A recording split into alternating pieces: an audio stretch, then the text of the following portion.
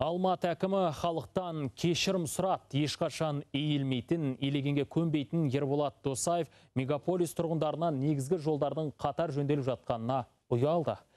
Өтпеске амалы қалмапты. Өткен Әл-Фараби де Абай даңғылда соңғы жеті жылдан бері жаңа асфальт көрмеген. Әр ауданның жұртымен кездесуді әдетке айналдырған шенеунік бұқараның мұңын тыңдап, нөкерлерінің шаңын қағып алды. Алқалы жиыннан тілші баяндасын. Жаз басталғалы кептелістің көкесі Алматыда жұмысқа ел екі сағат бұрын шықпаса кешігетін күйге жеткен өйткені негізгі жол Әл-Фараби мен Абай даңғылы тұтас жабық жөнделіп жатыр. Аптап-ыстықта халықтың аузы кеуіп бензинін артық жағып діттеген жеріне кешеуілдеп жүр. Әбден мезі болса керек Досаевпен болған жиында алғашқы сұрақ сол болды. Почему одновременно были перекрыты Неліктен маңызды екі даңғылды қатар жөндеуден өткізіп жатырсыздар? Не айналма жол қарастырылмаған кептелі сұмдық қазір қалада? Тұрғын сұрағын толық аяқтамай жатып әкім бірден ақталуға кірісті. Тіпті кешірім сұрап жұбатып қойды. Бәрі әсем қала үшін бәрі халық игілігі үшін жасалып жатқан істеді. Жөндеу жұмыстары алты бөлікке бөлінген қазан айына дейін шыдаса аяқтаймыз деп сертін берді. Хочу принести свои извинения от себя лично.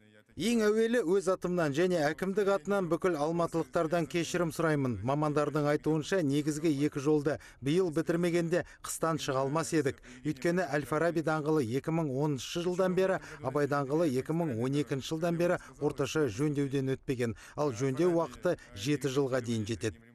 Бұл жолы Досаев Бостандық ауданының халқымен жүздесті. Ауданда проблема жетерлік, екі қабатты сүрілетін үйлердің тағдыры шешілді. Жақсы мердігер компаниямен келіссөз жүргізіліп жатқанға ұқсайды. Қаланың жоғарғы бөлігі жасыл алқапқа бай, бірақ талдар қиылып күтілмейді, арықтар тазаланбайды. Жұрттан ештеңе жасыра алмайсың қазір. Арычная система у нас в городе Бізде арықтар мүлде тазаланбайды, қоқысқа толы. Жаңбыр жауса бітті, орбита түгел су астында қаламыз. Ешкім ештеңе істемейді. Мопедшілер мәселесі де толғандырды тұрғындарды. Досаев ұзақ уақытты алса да, әйтеуір бір шешілетін дүние деп қысқа қайырды. Ал мың автобус жетпей жатқан мегаполиске жүргізушілер де тапшы көрінеді. Рөлде отырғандардың кейбірі тәртіпсіз, бейәдеп сөйлейді деп халық шулап кетті. Почему никогда не подымут вопрос, как себя хамски ведут водители? Қазір автобустағы жол ақысын көтеру мәселесі сөз болып жатыр. Бірақ неге осы қоғамдық көліктің жүргізушілерін айтпаймыз? Ылғи дөрекі сөйлейді, балағаттайды, рөлде отырып темекі тартады. Ол аз болса телефонмен сөйлеседі. Бұл біздің өмірімізге қауіпті емес пе? Тұрғын айтқан жол ақысы расымен қымбаттайды. 80 теңге төлейтін жолаушы енді оңай картасымен 100 теңге беретін болады. Картасыз 200 теңгеге көтеріледі. Жауапкершіліктің жоқтығының басты себебі автобус парктерінің жекеменшік қолында болуы дейді.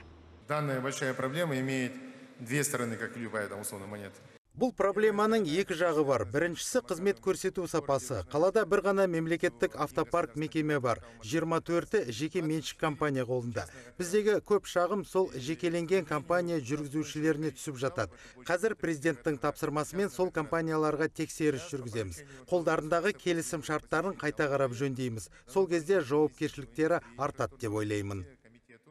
Яғни келісім шартта жеке компанияға артар жүк көп болады дейді.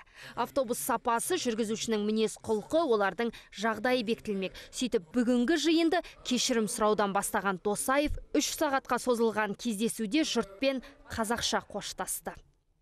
Гүлназия Мирханқызы Мади Шыңғыс Еуразия бірінші арнасы Алматыдан.